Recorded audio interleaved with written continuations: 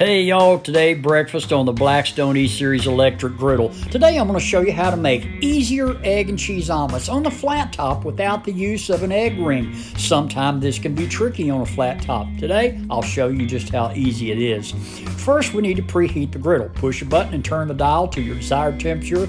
I like to cook my eggs at 375. Push the button and wait about four or five minutes to preheat. For the eggs, I'm going with egg beaters. No cracking or beating of eggs heck of a lot less mess, and they're actually healthier for you.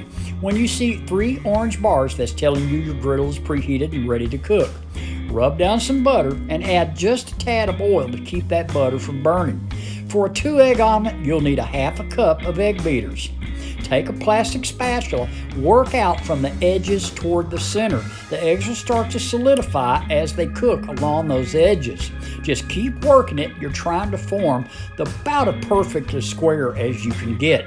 When they're all solidified and there's very little liquid on top, you can add your fillings. I'm going with four blend Mexican cheese, onions, and green peppers. Of course, you can add any type of fillings you like. Hit it with some salt and pepper, then take two spatulas, Fold it over twice, and there's your omelet. Notice how non-stick this griddle is. I am really happy with this.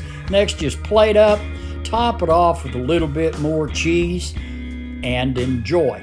For cleanup, it don't get no simpler than this.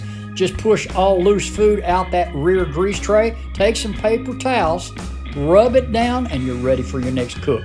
Thanks so much for stopping by. Leave a comment. I'll answer every one of you. But until next time, as always, bye bye, y'all.